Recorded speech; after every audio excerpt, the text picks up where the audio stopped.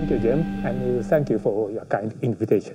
Uh, good afternoon. I'm going to talk about asymmetric autocatalysis and, its application to the study on the origin of homochirality. And this is just my opinion, that two of the characteristic features of life is the one is the self-replication. Uh, parents born, uh, parents bear babies or something like that. And also the component uh, highly enantiomer enriched into one, uh, one uh, enantiomer. We often call homochirality. And I'm going to talk about the reaction which satisfies the both, uh, both uh, characteristic features. The, uh, in my talk, because the backgrounds of the audience is extremely large, wide. And I, in fact, I have several or more than several times experience to speak, uh, to present my res, uh, results in such as origin of life or something. And uh, in my in the my nine uh, in the first nine slides, uh, this is uh, just to remind you the importance of the chirality, and especially for non-chemists. Non-chemists. I believe so. Everyone learned organic chemistry in the undergraduate course, but you know, but but you, in my opinion, you some of them don't really understand. understand. Uh, everyone know everyone knows that the amino acid of living creatures on Earth is so L-alanine and also the sugars are uh, D, D, D, and we know this one. And and also other many biologically active compounds are highly enantiomer enriched uh, into one enantiomer. We often call this is homochirality.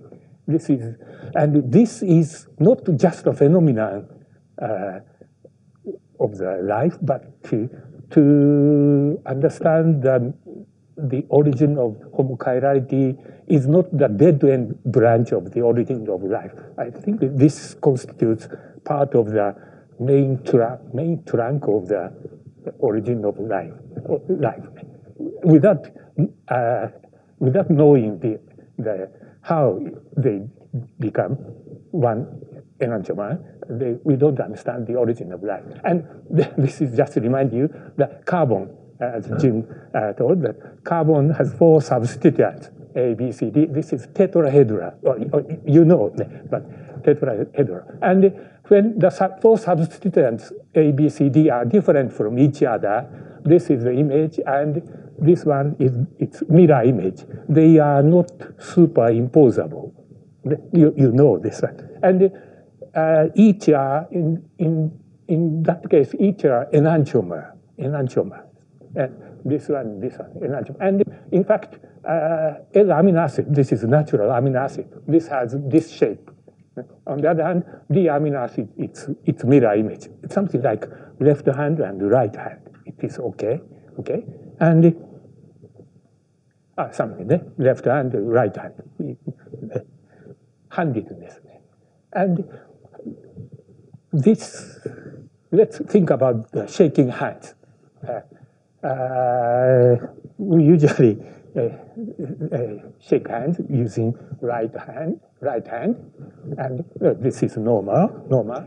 And when when one put to left and one put to right, this is well, this you you easily understand. This one and this one are not the same it's called diastereomeric. It's not the same. This is very I think one of the most important slide in my talk. In my talk, this one and this one is is not the same, different, and the same handedness is uh, or heterohandedness. They are not the same, and in fact, uh, this is the dipeptide amino acid to alanine, L-alanine and L-alanine, alanine, alanine, LL so the melting point to 97 degree. On the other hand, this one is the opposite. D-alanine and L alanine, DL. this has different melting point. And also the alpha D value is different. They are not the same. Uh, this is chemically very different. Uh, and uh, anyway, my, anyway, the bond is formed, but uh, I feel some of the non-chemists uh, feel some vague concept that they are dipeptide, they are dipeptide, but they they work to, they work in the same way, but it's not the the as you know the protein is is formed from amino acid. But if the D amino acid is incorporated in random manner, their structure, conformation is becomes very different and it doesn't work. And also the DNA and the, uh, let's say the helix is the D-deoxyribose. If the opposite enantiomer, L, di L-deoxyribose is incorporated, so some helix cannot be formed. Life cannot be operated without the homochirality. And so the, I talk, this is the chemistry, I talk about the reaction. This one is um, aldehyde, CO double bond H, aldehyde. And the, this one is the metal and alkyl submethyl ethyl isopropyl. This uh, approaches from the right side, called Re face, and R2 and attacks here, and it, it forms bond here. And uh, this reaction produces the, this is a secondary alcohol with this configuration. On the other hand, the reagent attacks from the opposite side, and then it forms this one. And the product, this one and this one, they are mirror images, but uh, R1 is R and R2 are different. Uh, they are enantiomers, enantiomers. And uh, without the intervention of any chiral factor, the probability between the uh, phase attack and Si face attack is one to one. And, and, and the, the number of uh, molecule is very large, one to one attack. So that means that the ratio of the R1, we call DOL or L or also R1S, is one to one ratio, and the, the, number becomes very large. Large, when the number is very large, we call one to one mixture. We, we often call racemate. That's the normal, normal reaction, usual reaction. We cannot produce an enriched uh, product without using uh, chiral factor. And I, I show asymmetric autocatalysis. This is the reaction, very, very, very unique reaction. That's the uh, product, chiral product acts as a chiral catalyst for its own production, for its own production. That means the, the structures of the catalyst and the products are the same, and the process is the self-replication, auto-multiplication of chiral compounds, chiral compounds. But from the synthetic point of view, this has several advantages over usual asymmetric catalyst. And uh, in 1995, we found this alkanol. This is the pyrimidine ring, uh, benzene with uh, one, three, uh, two nitrogen atoms, one, three. Pyrimidine, uh, pyrimidyl alkanol and here, this is the asymmetric carbon atom. But I skip, I omit the one hydrogen. But, but this is chiral S configuration. Uh, this is isopropyl substituent. And this acts as an asymmetric autocatalyst to produce more of itself in the reaction between the pyrimidine, this is a 5-carbaldehyde, aldehyde, and this is isopropyl, diisopropyl zinc, isopropyl zinc. As you see, this alcohol reacts with to form this one in the reaction flask, and it produces itself. And after working up, we got uh, more amount of the al alkanol. alkanol. And uh, more interestingly, during the reaction, the enantiomeric excess, the enantiomeric excess is the ratio, uh, difference of the ratio of the two enantiomers. Uh, 2% EE means the mixture of 51 to 49. The difference is 2. Uh, when we use this uh, pyrimidine alkanol, the first reaction gave the product and also the initial catalyst, and the, we found the EE increased to 10%. 10% is 55 to 45. And then, again, we use this uh, as a next uh, estimated catalyst from 10 to 57. 57, we repeated the reaction, and it reached 88% EE.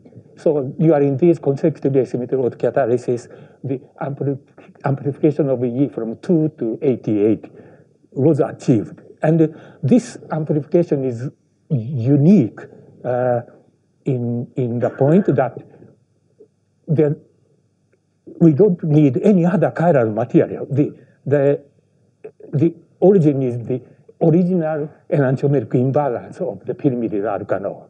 alkanol. That's the And so we examined the, we found the more efficient uh, alkanol. This is the, with uh, triple bond at the second position, alkynyl substituent. When we start uh, from this one uh, with uh, Uh, 0.00005% E, extremely low enantiomeric excess, almost, almost racemate.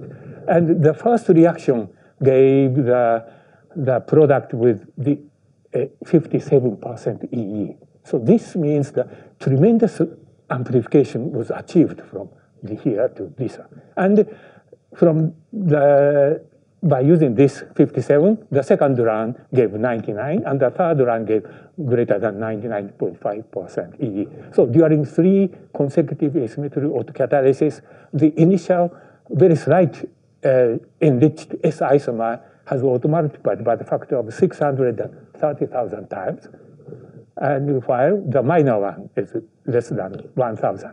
So this reaction uh, prove, proves me that there is an actual organic reaction in which the initial very small EE can be amplified by the mechanism of asymmetric autocatalysis.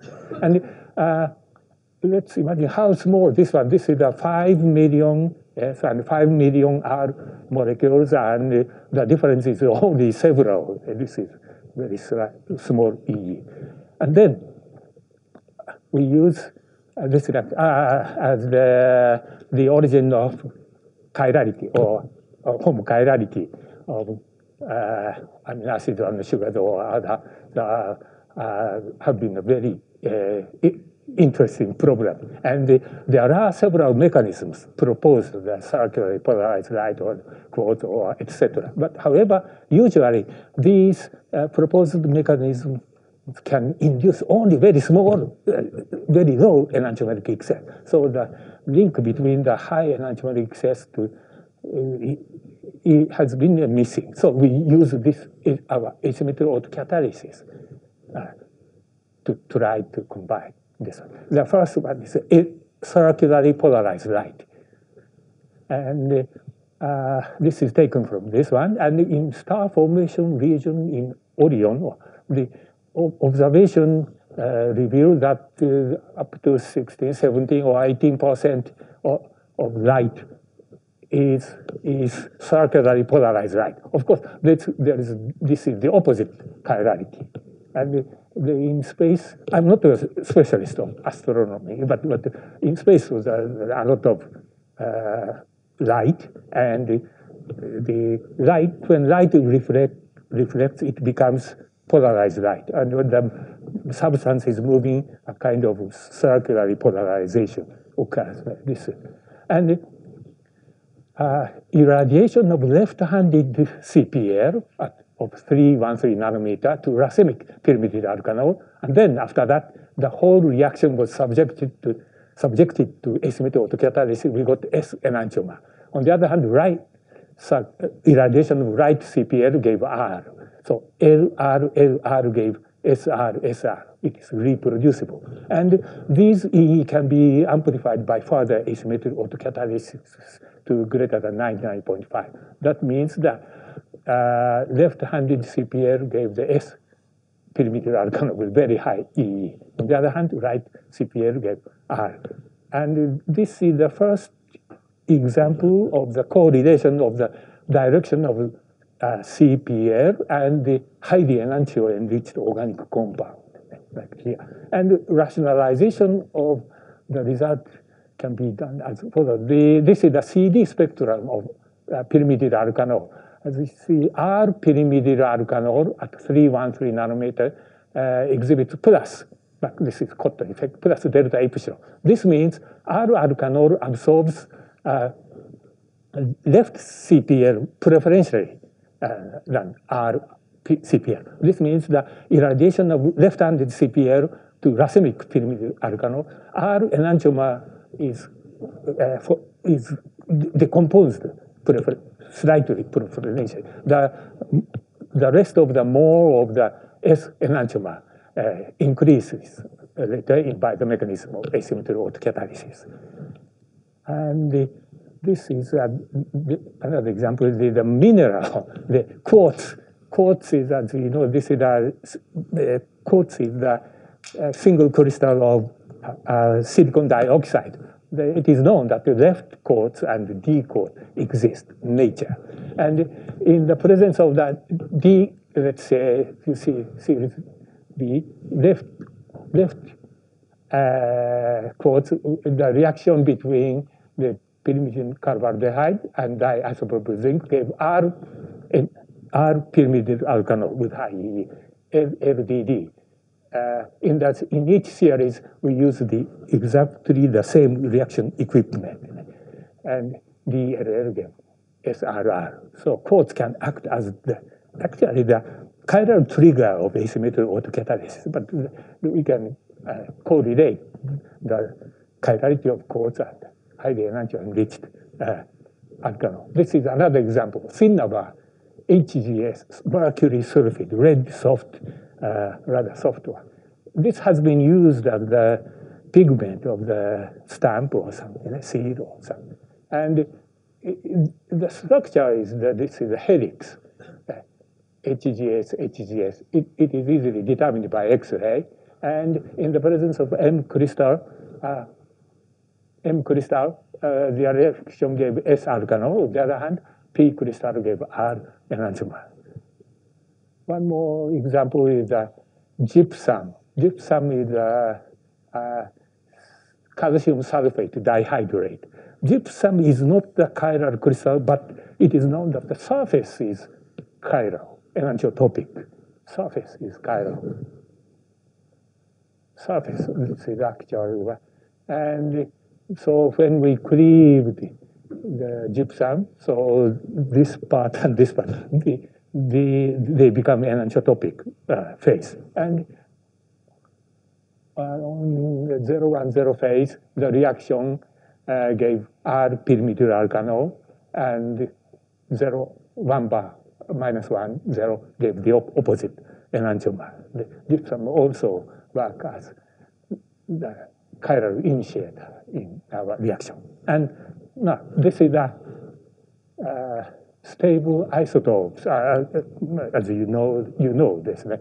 Of course, the hydrogen and deuterium, and uh, this and the carbon 12 and carbon 13, and also nitrogen 14, 15, oxygen 16, 17, 18. That, that it is known. And uh, this is the uh, result of the carbon isotope chirality uh, compound. Uh, uh, this is the dimethyl phenyl methanol because that the two methyl groups are the same. This is achiral, not chiral, achiral. However, one of the carbon atom of methyl group is labeled with 13, carbon 13. This and this uh, becomes uh, carbon isotopomer, isotopomer. This becomes chiral. But, but the difference is very small. It's very small. Very small. But we prepared in this uh, way. And in the presence of the, let's say, R enantiomer, R alkanol, uh, the reaction gave the S pyrimidine alkanol. On the other hand, S uh, carbon isotopomer uh, gave the R enantiomer. So the even the chiral uh, compound due to the carbon 12 and carbon 13 uh, can act as the origin of chirality in asymmetric autocatalysis. and this, this is other uh, derivatives of carbon 12 and carbon 13. Okay. and let me give you one more example. This is the nitrogen 14 and nitrogen 15. Uh, this is a diamine, but one of the nitrogen atom is labeled with nitrogen 15, 15 and this is the opposite uh, diamine. And in the presence of uh, this one, it gave R enantiomer, R pyrimidine alkanol, and this gave the S pyrimidine alkanol. Even uh, uh, even nitrogen isotope. Of course, I don't show that, but of course, hydrogen and deuterium chirality can act as the origin of, uh, uh, can trigger in this reaction. And yesterday, Jim took me to the lab tour of the ELSI, and I noticed there is the lab of the isotope. isotope. So, so in this case, chiral isotope is isotope in space. Probably no one has yet yet clarified yet. yeah, but it's, it's still interesting. And this one is another. This is the organic chiral organic crystal uh, of achiral organic compound. This is the cytosine. This is flat compound. It's not chiral. It doesn't have any asymmetric carbon atom. And uh, this is one of the nucleobase of the, the uh, one of the nucleobase, cytosine. And cytosine, the, it is known when it is crystallized from methanol, it forms chiral crystal. They work as chiral initiator in asymmetric autocatalysis. Also, it is known that when it is crystallized from water, it forms achiral crystal as monohydrate. It's not chiral, cytosine monohydrate. And we found the crystal water can be easily removed. We put this, uh, this is the picture of monohydrate, achiral monohydrate. Uh, this is a uh, parallelogram. The, this. We put this, uh, we put uh, B1 phase, this one, on the plate and with water, it formed a chiral crystal. On the other hand, from the opposite uh, direction, it formed the opposite uh, chiral crystal. And they work as chiral initiator in in this asymmetric autocatalysis. And this one,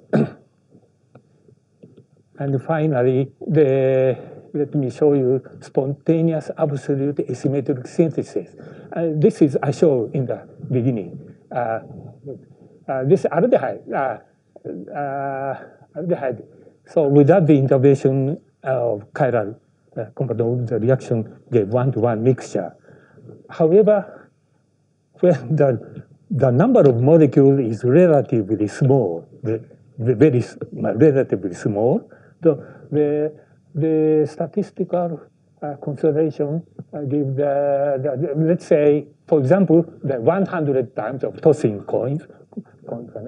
Uh, this is, of course, 50 to 50 is the most probable, but the, the probability is only 0.08%. Other 92% is 51, 40, uh, 49, or 80 to 20 or something. It, it, it is not exactly the same. So, uh, so the, in our reaction, the very small EE can be amplified. So we, we think or we perform the reaction without adding any chiral material in the reaction. This means that just reaction between pyrimidine carbaldehyde and diisopropyl zinc without adding chiral substance. And then after that, uh, sometimes S alkanol and sometimes R alkanol were observed. We applied patent many years ago, and also scientific paper came later. later. And this is the experimental result. That's the, uh, the formation of S enantiomer in 51 times and R enantiomer in 49 times. So that's the, uh, the the results uh, is stochastic, stochastic, stochastic. So this is the very, very unique reaction, that, unique reaction that uh, without adding chiral material, but, but still in each reaction it goes S or R uh, with detectable enantiomeric excess. This excess. And this one is that. and in summary, the, this is the pyrimidine alkanol, also the related compound, quinolyl alkanol, or, and also the pyridyl alkanol with the substituent at the 5 position, carbon, they work as asymmetric autocatalysis. Uh, this, one, uh, this one is very highly efficient. And uh, in this reaction, very low EE can be amplified uh, uh, during the reaction. And using this reaction, the several proposed mechanisms of the uh, origin of chirality can be examined, quartz or sodium chloride. I didn't speak about sodium chloride, CPL, and also the uh, absolute asymmetric synthesis. Also the chi chiral compound, a chiral organic crystal composed of a chiral organic compound. They work as chiral initiators. And uh, we made collaboration with with, uh, with other groups too. I thank you. And thank you for your attention. See, maybe, maybe that's Thank you. So I, I think we have time for, for many questions. Thank you for that talk.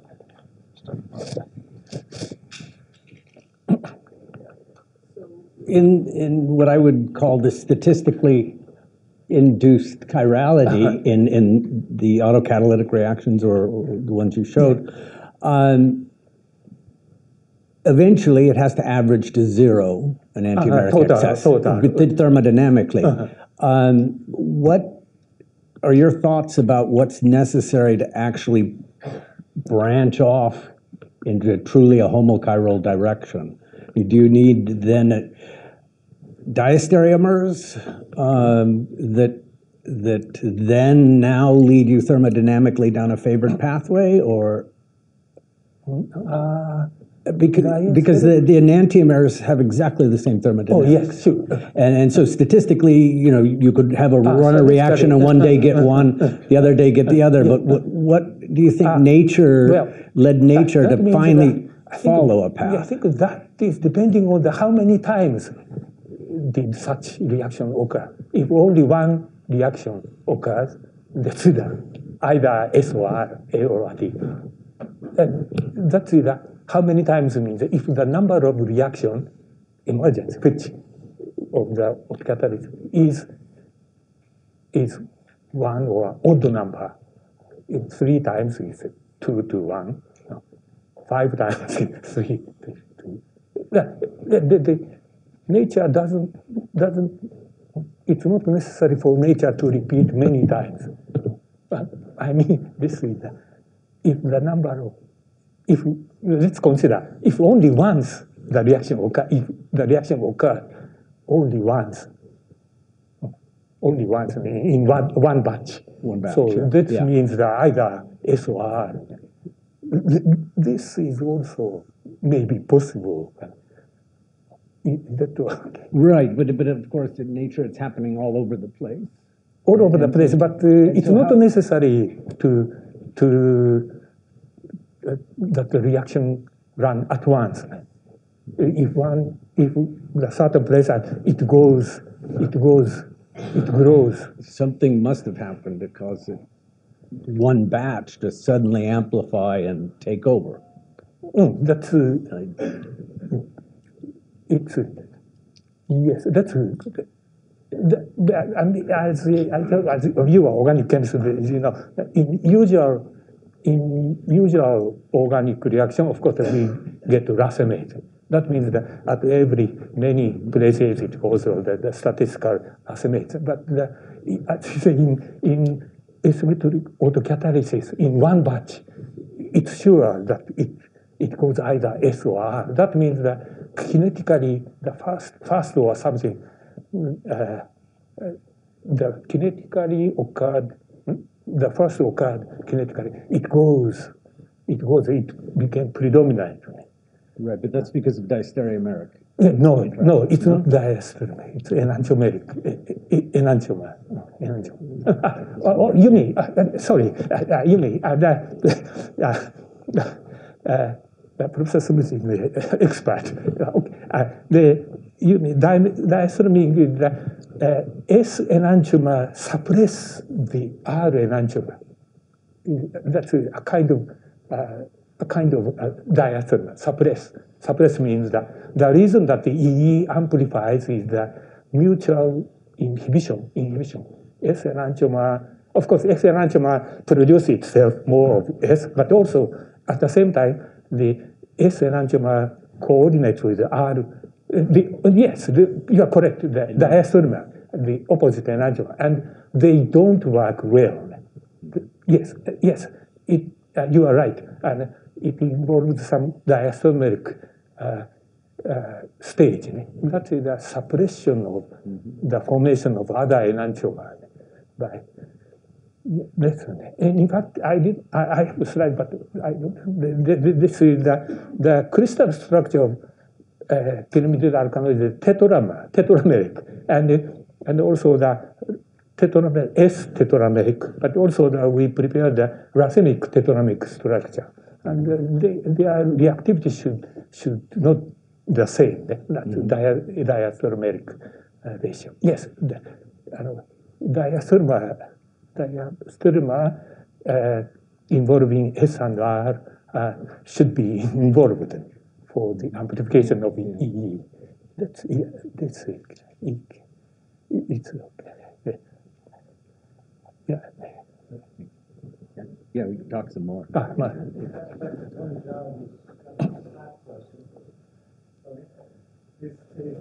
Hold your L.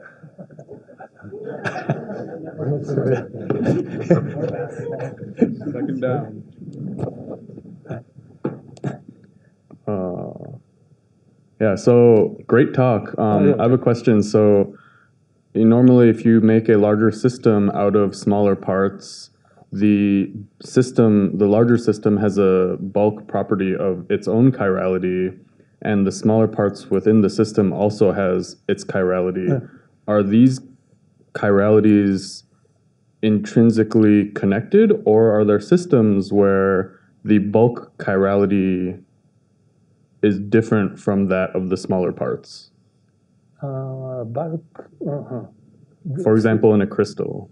So you, you showed that an achiral molecule like cytosine can crystallize into a chiral Yes. or an achiral crystal, but is it possible for a crystal or some other larger entity to exist which has a chirality that is different from what it's produced from? Like that is the opposite of from what it is produced from. Uh, the, for example, crystal chirality of cytosine, and do, do you mean the other chiral, other chiral source? Hmm? Well, I, I mean, if you have a crystal Yeah. that is chiral in one way, Oh, yes. is it possible that the smaller parts that make the crystal are the opposite handedness? Oh, For yes, example, I think example. it is possible, possible. But but uh, the probably as far as the cytosine is concerned, the, the majority of the chiral, major major major chirality uh, controls the enantio uh, enantio enantio selectivity of the product pyrimidine alkanol. Is that your question? No. So, Is that your answer? No. You mean the, the, the crystal, uh, chiral crystal, and the small part is the different. Yeah, yeah. yeah. So in that case, in that case, which part is the more steady? No, I mean, I mean, so if you have a crystal of molecule, a crystal that's composed of molecule A, Uh. and the crystal has one chirality, Yeah. can molecule A have the opposite chirality, or must it be the same as what the crystal? Uh-huh. That is uh, probably it's possible to even the same A, same A uh, is one chirality on in other part. But the, we, we, we usually think the single crystal is the, the same chirality, but very small part may be different. May be different. But but I think the major, as far as the same compound such as cytosine is concerned, the major part, we can judge it by the CD spectrum, by the KBr disk. this is yeah. Okay. Oh, Oh, Yeah. Right.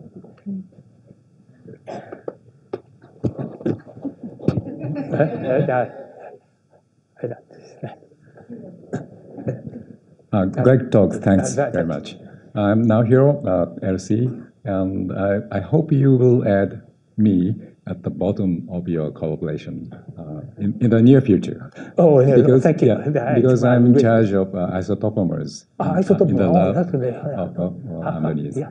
And my question is, uh, uh, we are doing uh, uh, chiral, isotopomers Mm. also, and uh, like uh, alanine, uh, smallest, one of Yes, the smallest uh, amino acids. And my question is, uh, you, you said uh, uh, isotopic substitution may trigger the chirality. What do you mean? the quite. Yeah, yeah, big I mean, difference? that, let's say, the, for example, the, uh, uh, actually, we made collaboration with uh, Sandra Pizzarello, Arizona State University. She's Okay. the specialist of the chirality of amino acids in meteorite. And, and she told that the, the con- and how to say, content of D, uh, uh, ratio of D, deuterium and hydrogen, D and H, uh, con- content of meteorite is much larger than, than that, the terrestrial one. Uh, The D content is Yes. but high. Uh, this means bulk- the, the has very small number, one, two, three, four, five hydrogen. And uh, when the, when the D content is larger than some of the methylene, CH2 methylene is one of the uh, H, maybe D. So in that case, uh, in fact, we have published a paper that the chiral glycine, glycine due to the hydro, deuterium substitution of one of the methylene group. They work as chiral initiator uh, in our reaction. Well, That- yeah, that's- yeah, maybe uh, bulk composition of the uh, isotopes may uh, affect.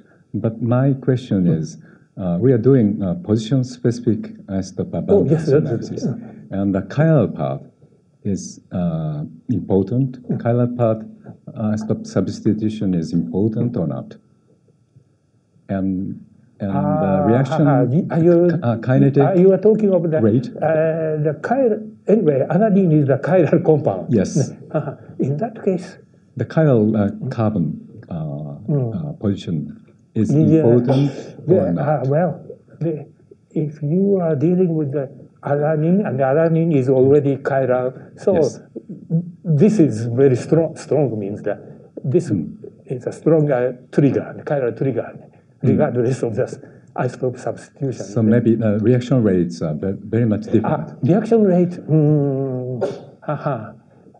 Well, this in this in our reaction, the this is the chiral trigger is just trigger. ne? It doesn't react. Okay, So the shape is the. maybe we talk uh, later that's a- and, uh, for further uh, correlation. Thank you very much. Thank, thank the speaker and Yep. Ja, dat. Ja, dat is